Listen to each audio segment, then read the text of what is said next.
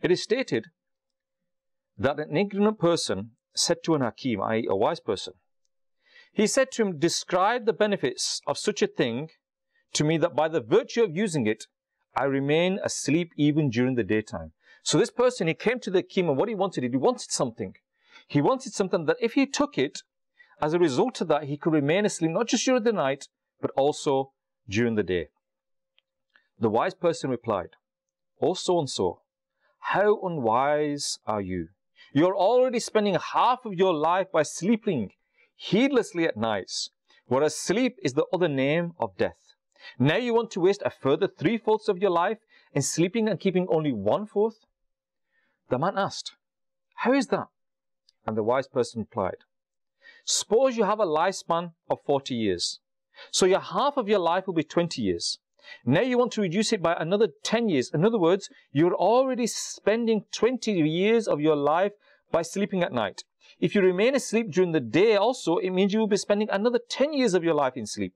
Now what will you, what will you have in your hand to carry out good deeds for the preparation of the hereafter will only be 10 years. Therefore, remove the desire of sleeping in excess from your heart. Now in this particular example, viewers of Madani we were told that this person, he gave the example of having a lifespan of 40 years. Let's say we've got a lifespan of 70 years. Let's say we've got a lifespan of 72 years. In them 72 years, if half of that time is already asleep, half of that time is already asleep, half of that time is asleep, and if we want more sleep, then what are we left with? And if we take care other things like going to the toilet, uh, eating, traveling, and all these times that we waste that time, what is left of our life that we can do, treat ibadat, and collect those deeds that are going to benefit us on the day of judgment? So we've heard from this wise man how he reformed this person. This person, he was reformed as a result of this. He had the desire of sleeping in excess, and how he tried to give him the Madani mindset to think about the afterlife. The above mentioned parallel also contains admonition for those unwise people who waste most of the time only sleeping or staying in bed, like bedridden parents. Some people, what they do is, is they sleep 8, 10, 11, 12 hours, yeah? But then what they do is they don't, they don't get up and do something, they stay in bed. Even though they're not sleeping, they still stay in bed. And so they're like, as the example said here, bedridden patients, that they're in the bed all day as patients, they're not doing anything.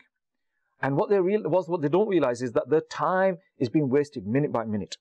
The Prophet of Allah said that the blessed mother of Sayyidina Sulaiman bin Dawood alayhi salatu wasalam said, O my son, do not sleep till late at night, for sleeping too much at night will leave a man poor on the day of judgment.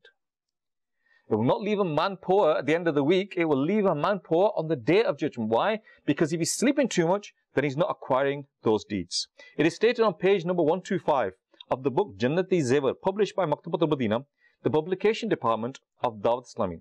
All the pious predecessors have said, hold firm to three habits. Number one, less talking. Number two, less sleeping. And number three, less eating. Because excessive talking, excessive sleeping, and excessive eating are all bad habits, and a person suffers due to these habits in the world and in the hereafter. We love Madani Channel. We love Madani Channel.